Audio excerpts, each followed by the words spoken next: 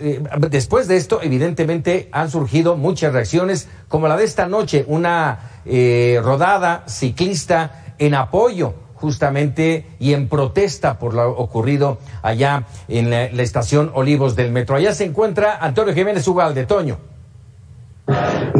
Paco Ramírez, muchas gracias, buenas noches. Así es, continuamos en esta serie de actividades que se están desarrollando exactamente aquí en la zona cero, actividades llenas de sentimiento, con las personas que vienen a este sitio para recordar a sus familiares, a sus amigos, a la gente que lamentablemente perdió la vida la noche del pasado lunes 3 de mayo y a los que resultaron lesionados que de una u otra forma son vecinos, son personas que estaban aquí, que eran parte de la comunidad. Y vamos a ver estas imágenes, Paco, precisamente de todo este grupo de personas quienes aquí pues están entonando una serie de melodías precisamente para recordar a todas estas personas. Las actividades de remoción de escombros, de demolición de esta ballena, ahí continúan como mudo testigo del lamentable hecho que ocurrió la noche del pasado lunes. Y también en la parte posterior este memorial para recordar a todas las personas que aquí perdieron la vida. Se han colocado veladoras, se han colocado dulces, se han colocado algunas cruces, flores, la imagen de la Virgen de Guadalupe y todo esto es precisamente hecho por una persona. Vamos a tratar de acercarnos al señor José Hernández Rodríguez para conversar un instante con él, si me lo permites, Paco. Buenas noches. Usted de las personas que inició con este con este altar para las personas que lamentablemente fallecieron. ¿Qué le mueve a hacer eso, don José? La calidad humana, ¿no? De toda la gente más en este momento, ¿no? Para los que perdieron a sus seres queridos. No hace falta tener a un familiar, simplemente con que una persona haya resultado lesionada o fallecida es suficiente.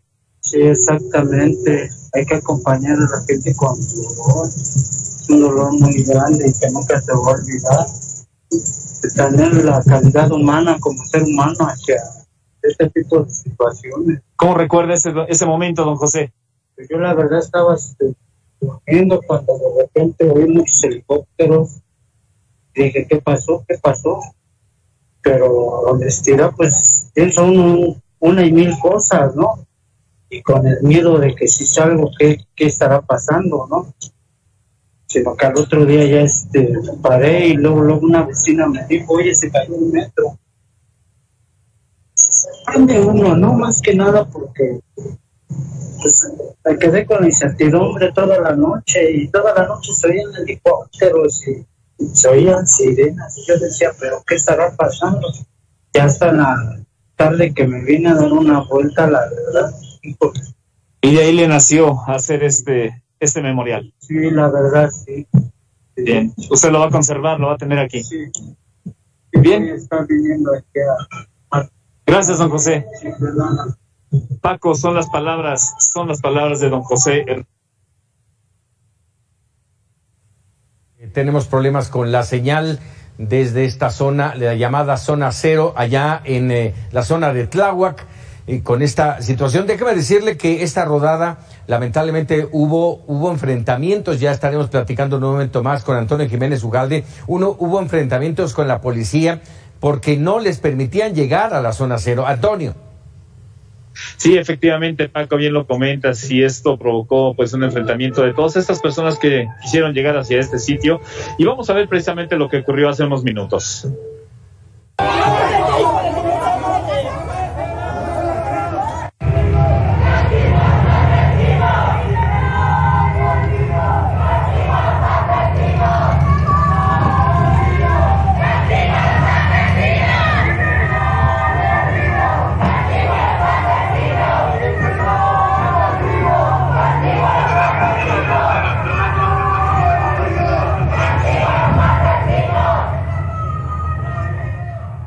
Finalmente, después de un diálogo y de este esfuerzo que realizaron pues por pasar, lograron hacerlo y ahorita es parte de las actividades que están ocurriendo. También otras personas están participando del otro lado de la zona cero. Vamos a ver de qué forma lo están haciendo, recordando a las personas que aquí murieron.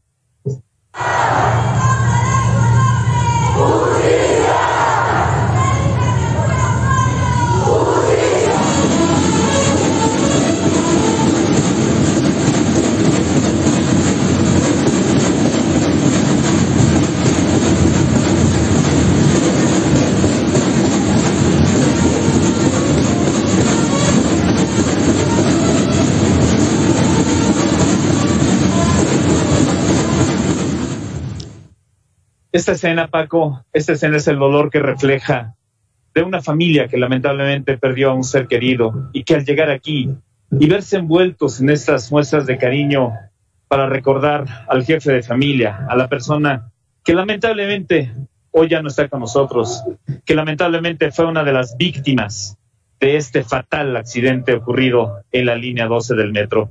Aquí vienen a recordarlo, seguramente a pedirle que las cuides desde el cielo en este memorial.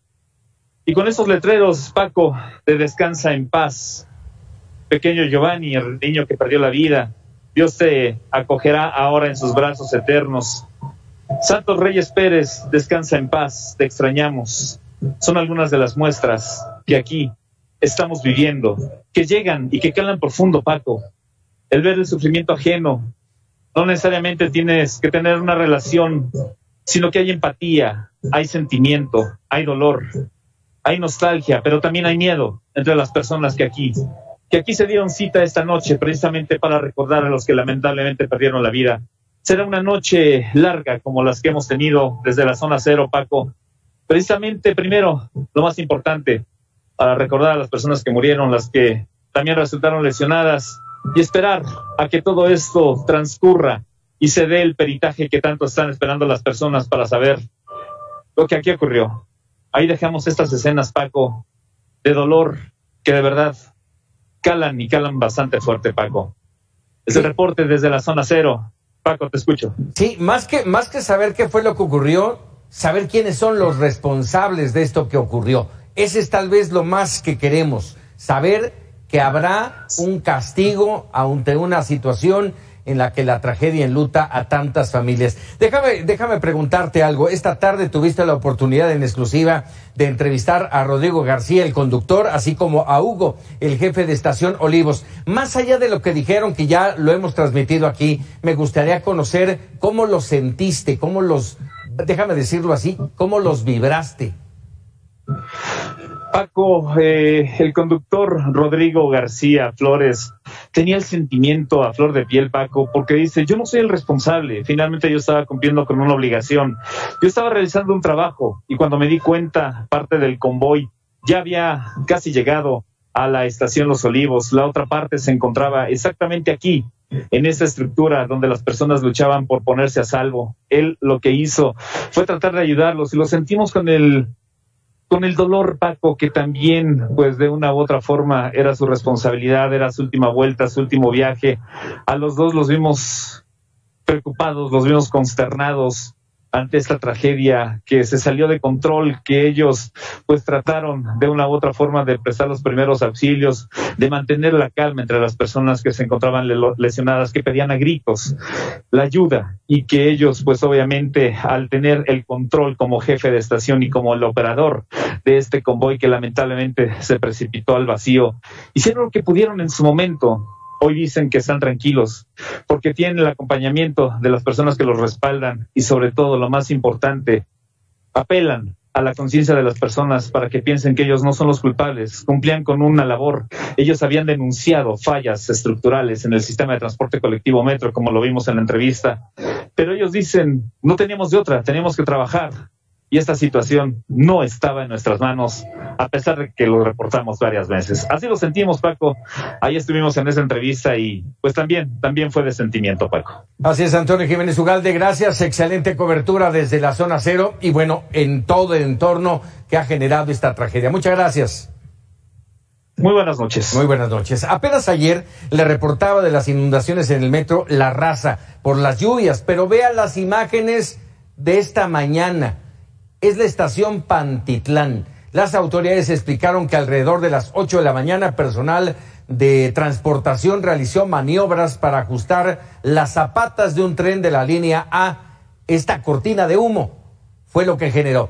El tren fue retirado de la circulación para que no afectara más la operación, pero así se vivió 8 de la mañana. Vea el, la humareda, déjeme decirlo así, provocada por eh, pues déjeme decirle, esta zapata que seguramente se calentó en demasía y generó esta situación que preocupa, porque es uno y otro y otro y otro incidente lo que ha llevado el sistema de transporte colectivo Metro desde hace ya eh, pues varios meses, uno tras otro, y preocupa cuando hablamos ahora sí de la falta de mantenimiento del sistema de transporte más importante de la Ciudad de México.